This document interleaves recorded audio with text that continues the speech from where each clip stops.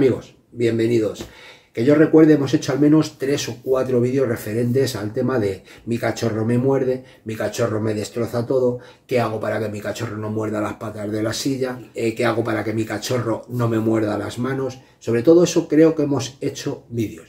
Lo que no hemos hecho es un vídeo sobre el cual podamos hablar por qué motivo sucede todo eso y podamos entender y ponernos en la piel del cachorro. Pues hoy lo vamos a hacer y vamos a intentar modificar esa conducta. Debemos de tener en cuenta que los cachorros nacen sin dientes. Los dientes de leche les comienza a aparecer sobre los 20, 20 y tantos, días. Igualmente sobre los veintitantos días, 30 días cuando comienza el destete. Tener en cuenta de que ya se eh, comienza a tener los dientes de leche y lo que es eh, para la madre estar aguantando que sigan amamantando. La destrozan las mamas y ese es el motivo por el cual se los comienza a destetar cuando el cachorro llega a casa o cuando el cachorro no lo, traemos a casa, debemos de tener en cuenta de que el cachorro viene de, haber estado con su madre, con sus hermanos. Y debemos de entender cómo interactúa con sus hermanos y con su madre. Debemos de tener en cuenta que cuando nosotros llegamos con el cachorro y nos ponemos a jugar con él, lo más lógico es que nos muerda las manos. ¿Por qué motivo nos muerde las manos?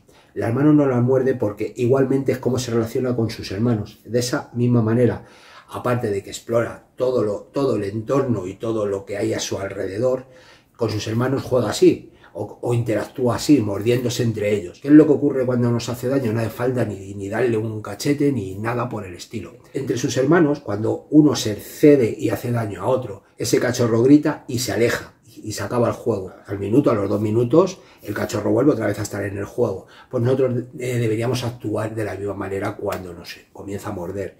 Nos comienza a morder, lo que tenemos que hacer es gritar, quitamos la mano y le dejamos. Ya no hay juego.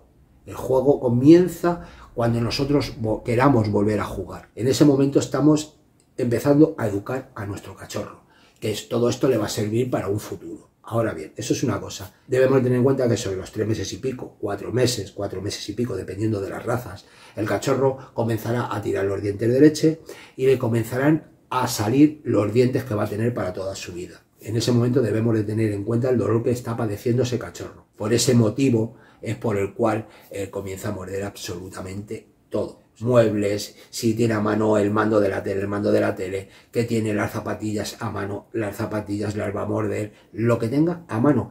Quiere aliviar el dolor que tiene. Si es cierto que en el mercado hay productos para aliviar el dolor de que puede llegar a sufrir las encías ese cachorro. Pero lo primordial que tenemos que hacer es evitar de que pueda llegar a morder lo que es todo el mobiliario que tenemos en casa y para eso lo que debemos hacer es darle algo a cambio. ¿Y qué le damos a cambio? Mordedores. Tenemos que buscar un mordedor adecuado a su edad y a su al tamaño, a su dentadura, etc. Debemos tener en cuenta que hasta los 6, 7, 8 meses, dependiendo de la raza que sea, eh, va a estar con la dentición. Imaginaros un cachorro con 6 meses, por ejemplo, de Rottweiler, la dentadura que ya tiene, si se pone a destrozar absolutamente todo.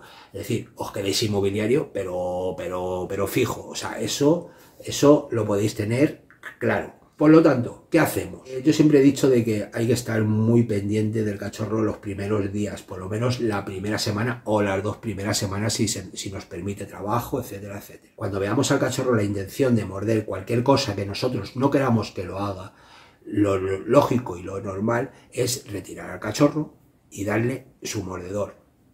Le estamos dando algo a cambio para que él no siga eh, destrozándonos algo que, no queremos que nos destroce. El cachorro al rato va a volver a intentar morder otra vez esa pata de la mesa, esa pata de la silla o lo que sea. Lo va a intentar. Tendremos que actuar de la misma manera. Eh, tener en cuenta de que todo esto es paciencia y constancia. Le volveremos a retirar y volveremos a darle el mordedor. Y así hasta que el cachorro sepa de que eso no lo tiene que hacer. Aquí también entran en juego las órdenes le podemos dar un no, simplemente chistarle para que el cachorro deje de hacerlo y en ese momento se le da el mordedor. Todo eso depende de cómo vosotros queráis en cada momento llevar o el camino que queréis seguir con vuestro, con vuestro cachorro. Ahora bien, otro tema importante es lo que comentábamos antes de cuando nos muerde las manos. Yo tengo un método, yo tengo un sistema que me ha funcionado y me ha funcionado siempre, simplemente porque opto opto por lo que hace el cachorro con sus hermanos. Para que me entendáis, yo a Junior le meto la mano en la boca porque quiero que se deje tocar. Le meto la mano en la boca y le puedo mirar perfectamente toda la esencia, la dentadura, todo. se lo puedo hacer. ¿Por qué motivo se lo puedo hacer? Porque desde que cachorrito, os digo, tenía treinta y tantos días cuando le trajimos, él su juego era morder las manos y demás, como juega con sus hermanos, igual, de la misma manera. Y hacía lo que os he comentado antes.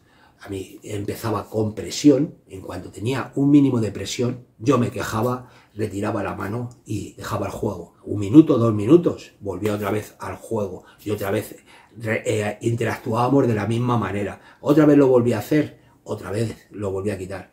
Hasta que entendió o aprendió a que la presión que ejercía sobre mi mano debía de ser cero. Es decir, no podía apretarme en ningún momento. Que ahora Junior tiene dos años y cuatro meses. Y todo eso le ha servido para ahora yo meterle la mano en la boca, poder eh, eh, mirarle absolutamente todo, dientes, encías, si tiene sarro, lo que sea, y que no me haga ningún tipo de presión sobre la mano. Por lo tanto, todo eso también nos va a servir para el futuro. No temáis, eh, que mi cachorro me muerde la mano, en serio, no pasa nada. Simplemente actuar de la forma para que no os muerda con presión. Ahora ya si es que os da asco o lo que sea, pues dice, vale, pues ya está, yo no quiero ni tocar la boca de mi perro, ni nada por el estilo, eso es otra historia.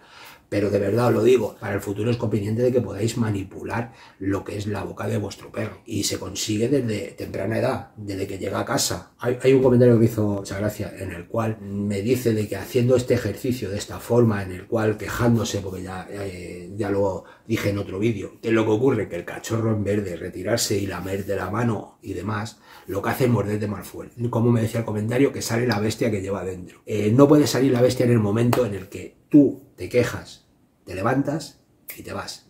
Y le dejas solo, es decir, no quieres el juego, no quieres nada con él, no hay bestia que pueda salir. Tú has dejado el juego y el juego le retomarás cuando tú quieras, al minuto, a los dos minutos o cuando tú creas conveniente. Ahí es, en ese momento es cuando tú vuelves a jugar, no cuando el perro o el cachorro en este caso quiera. Y cuando vuelves a jugar, vuelves a jugar para que esté más calmado y que la presión no sea esa que tenía en ese momento en que tú te has levantado. Y eso los cachorros lo van a entender. Pero ¿qué es lo que ocurre? Si tú haces ¡ay! y sigues donde estás, el cachorro se piensa que es un juego y lo que hace es motivarse más para seguir mordiendo y al final te va a acabar mordiendo más fuerte. O sea, conseguimos eh, lo contrario de lo que queremos. Por lo tanto, a mí me muerde, me quejo, me retiro y ahí se queda. No quiero saber nada de él me ha mordido, me ha hecho daño, no quiero saber nada de él. Eso es lo que hacen los hermanos. Cuando el juego ya es tan intenso en el cual le hace daño, el cachorro se queja y se va. Y no vuelve a jugar hasta dentro de un rato. Ya os digo, nada falta, no se tiran una hora, no se tiran dos, en, un minuto, dos minutos, vuelven otra vez al juego. Pues eso mismo tenemos que hacer nosotros. Debemos de meternos en la cabeza del cachorro, lo primero para saber su comportamiento y lo segundo para saber cómo modificar ese comportamiento. Y os aseguro que si todas estas pautas las hacemos desde cachorros, cuando tengan dos años, tres años, cuatro años, aún le va a perdurar. Y esa enseñanza la van a tener adquirida. También me comentáis de que tenéis que salir a trabajar o tenéis que salir de casa y que el cachorro se queda solo. Es muy sencillo, es más sencillo de lo que pensáis. ¿Tenéis un transportín? Al transportín, con su juguete, con su mordedor. No pasa nada. O sea, seguramente no pasa nada. No le va a pasar nada porque se quede en un transportín. ¿Que no tenéis transportín? Tampoco pasa nada. Limitar un espacio de una habitación, en el, claro, en el cual no tenga nada que morder que no sea su mordedor o sus mordedores.